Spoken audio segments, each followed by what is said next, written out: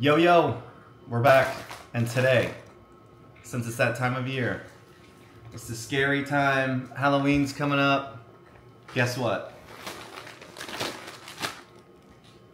Taki Zombie. That's right. That's right, bitches. Taki Zombie. So habanero and cucumber flavor. Exactly. So they're extreme heat.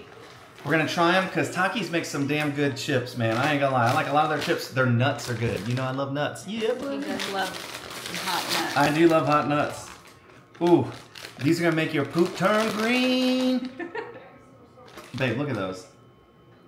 God. It smells like cardboard. Okay, well maybe it's cardboard. Who knows? All right, guys. Look, look how green.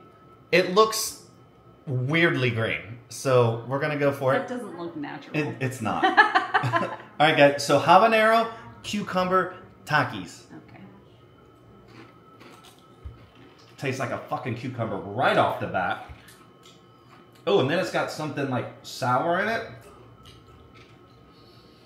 Okay. Takis, I love your chips. Now it's getting hot. Yeah.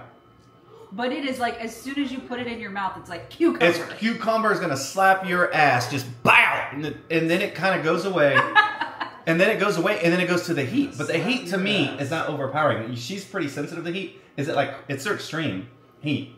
I would not keep eating these. Okay. You're gonna spank your butt. That's right. So definitely not my favorite flavor by them. It's not bad. The the just the cucumber at first, and then it goes almost to like a sour flavor. Look at her face. Um, it's a no for me. Yeah. Okay. I love most of their chips. I'm not gonna recommend these, but if you want something crazy, hey, it's that time if of year. If you like cucumber, if you like spicy cucumber, I like cucumber and I like spice. Good chip for you. But these, the flavor's just off a little bit for me. But that's it.